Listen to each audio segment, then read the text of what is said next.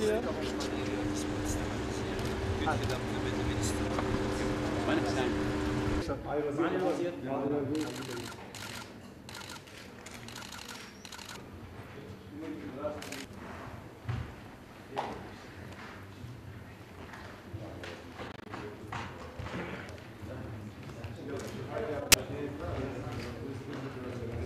Tomorrow, we will have a very important meeting of the General Affairs Council of the European Union where uh, the uh, deployment of uh, the enhanced uh, UNIFIL uh, will be discussed and uh, where notably countries will pronounce themselves with respect to their participation in this. So it was very important to discuss with you um, the rules of engagement, um, the relationship between the Lebanese and, uh, army and, and, and uh, the enhanced uh, uh, UNIFIL, uh, the relationship also between disarmament of, of uh, all factions and, and the, the measures to be taken so that rearmament cannot take place.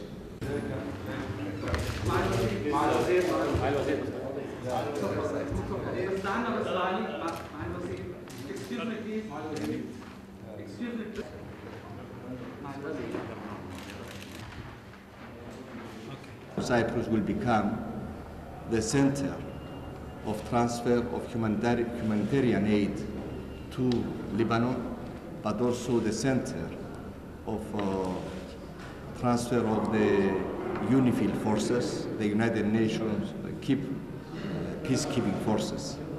And uh, Cyprus decided to offer the facilities of its ports, airports, and military bases to the United Nations and to the European Union, to all countries who want to participate in, uh, in UNIFIL.